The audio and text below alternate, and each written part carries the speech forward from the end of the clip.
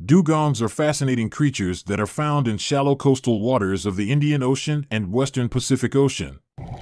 They are large marine mammals that can grow up to 3 meters in length and weigh up to 500 kilograms.